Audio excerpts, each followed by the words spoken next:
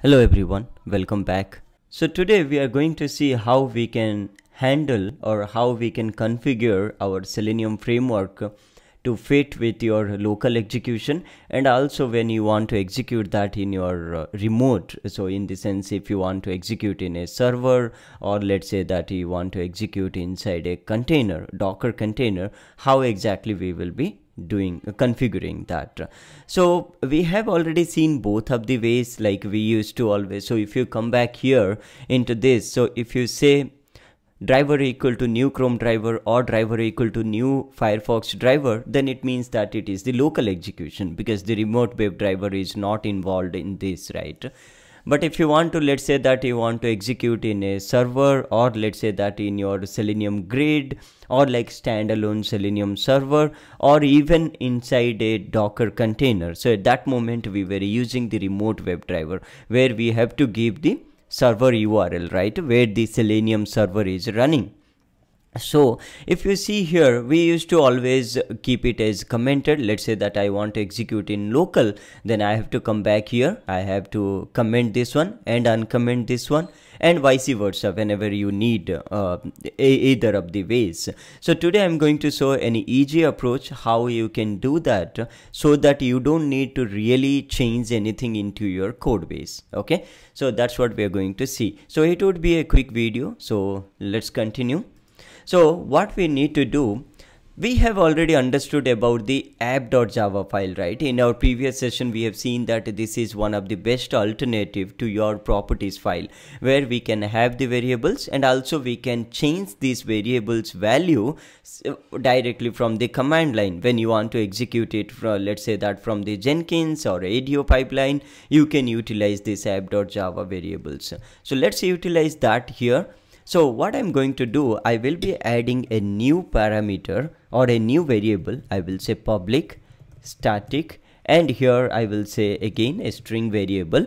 Let's say that I will say environment type. Okay. Or env let's say whatever it is there or maybe i will say platform okay so equal to i will say system dot get property and here again as always I will have to give the variable name and I have to give a what you call the default value. Let's say that the default value will be always local okay?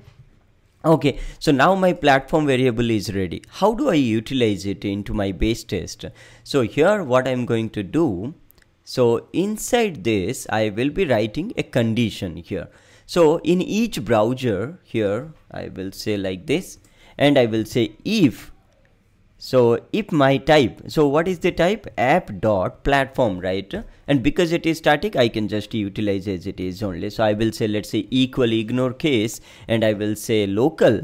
If it is local, then what you need to do, you have to execute or you have to call this per this particular line of code.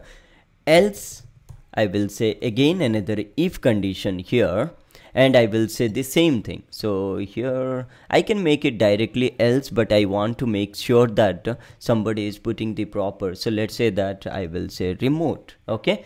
So here what I can do, I can write like this and I can call this entire code here. At this moment, I'm just copy pasting this one and I'm writing and this has to be else if okay? So like this you can keep. Now what is going to happen? You have to give your platform variable value directly from your command line. So that what will happen? When you say remote it will execute this sets of code actually. So that you don't need to every time come back to your uh, code and change or comment or uncomment these things. Now the same thing i can real quick do this one here as well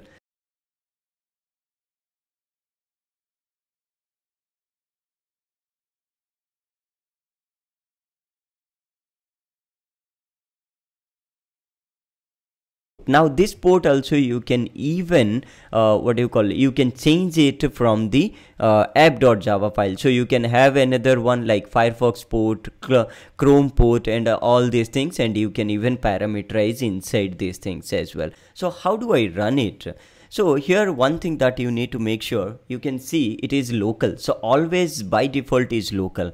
In the sense if I go to my terminal and let me make sure that all the okay so it will execute this particular test case or maybe let's see okay i have three test cases right at this moment i will run this one maven test and now here i'm not going to give any parameters here.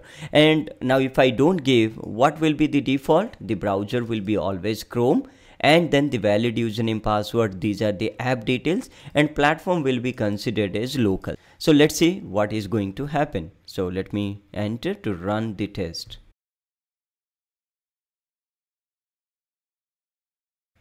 and now as you can see it is running on chrome browser and also it is running in local actually here. So three test cases it will be running one by one because i have not set it up as parallel or something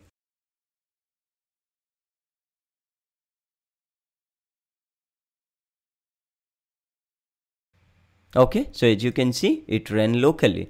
So let's say that i want to run it from my jenkins pipeline or let's say i want to run it in docker container. Let's say that i want to do something else on my system and i have 5 to 10 test cases are there which got failed into the jenkins and then i want to run that in local but i want to utilize a docker container.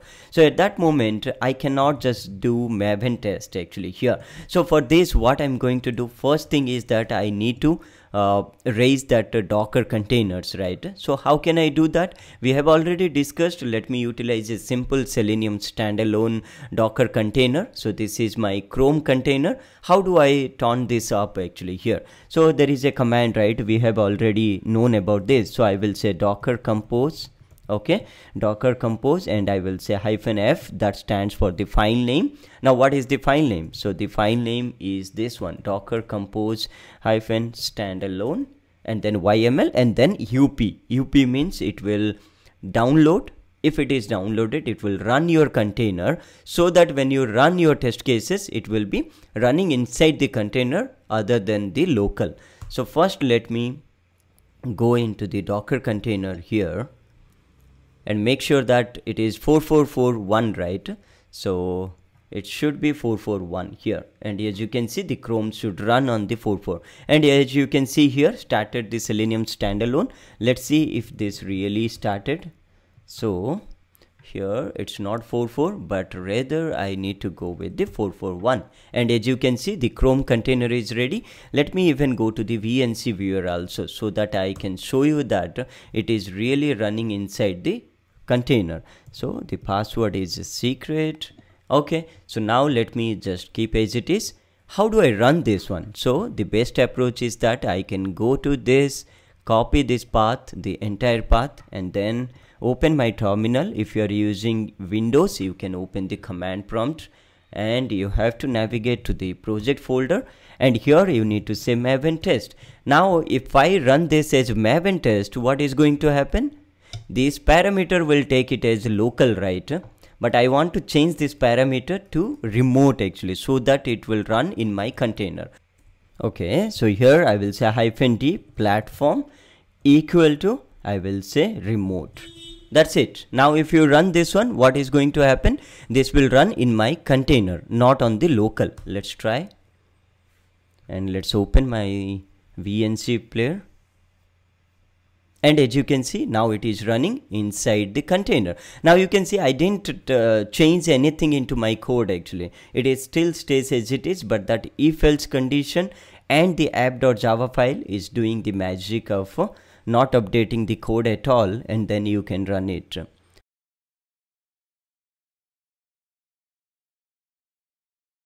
okay? So all my three test cases got run. How do you see? You can see here everything is green. It means that it is uh, all executed correctly. So that is how you should be handling your local or remote execution actually. So whenever you want to debug anything you can run it in local. Whenever you want to log in or do what you call run it in some server or let's say into your docker container as that you can change these urls but you really don't need to come and change anything into your framework content.